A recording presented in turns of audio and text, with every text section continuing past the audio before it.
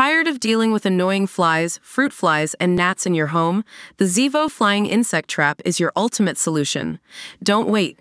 Check out the link in the video description now to get your Zevo Flying Insect Trap on Amazon and enjoy a bug-free home today. Today on the Spoiler Squad, we're diving deep into one of the longest-running reality television shows in history, Survivor. Since its debut in 2000, Survivor has not only captivated audiences in the United States, but has also made waves worldwide, forever changing the landscape of reality competition shows. With its exotic locations and the gripping dynamics of human behavior under extreme pressure, is no wonder that millions tune in season after season.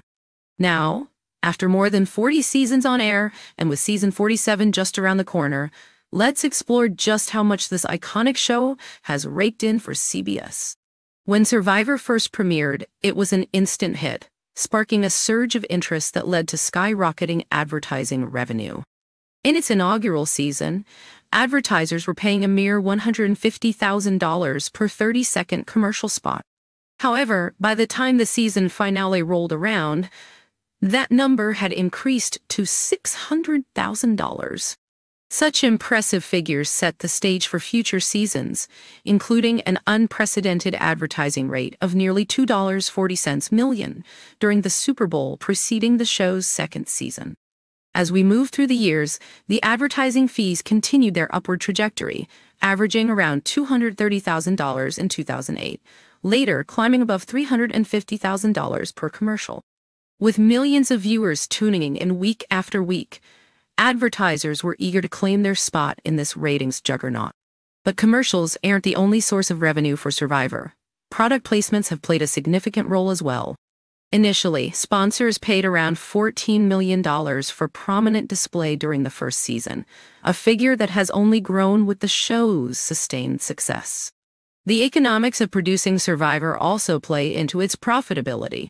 With a comparatively low production cost of about $2 million per episode and a million dollar prize for the winning contestant, it's easy to see how the show has managed to generate incredible revenue, sometimes yielding tens of millions in earnings.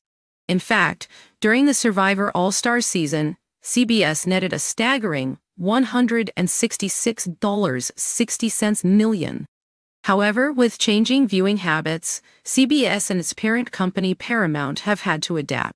The rise of streaming services has impacted traditional advertising revenues, prompting CBS to place Survivor both on network television and Paramount. It turns out streaming can be quite lucrative too, with potential advertising revenues reaching between $25 to $40 per 1,000 viewers, compared to the higher rates for television. The combination of ad revenues and subscription fees, with over 77 million customers paying between $4.99 to $9.99 per month, keeps Survivor as a staple for viewers even after two decades.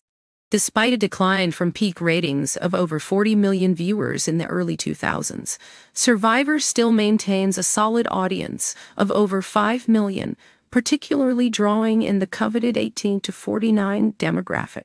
In fact, current numbers often exceed competitors during their time slot, ensuring a steady stream of return viewers and advertisers. As we gear up for season 47, excitement is building not just for the competition, but also to see how this beloved show will continue to generate revenue for CBS moving forward. With the reality show format evolving and new twists being introduced, Survivor proves time and again it's capable of adapting to the times. As always, we keep our eyes peeled for the latest news in reality TV, and Survivor remains a cornerstone of our weekly viewing lineup. Don't forget to subscribe for more insights and updates on your favorite shows. Until next time, remember in the wild world of reality TV, it's always survival of the fittest.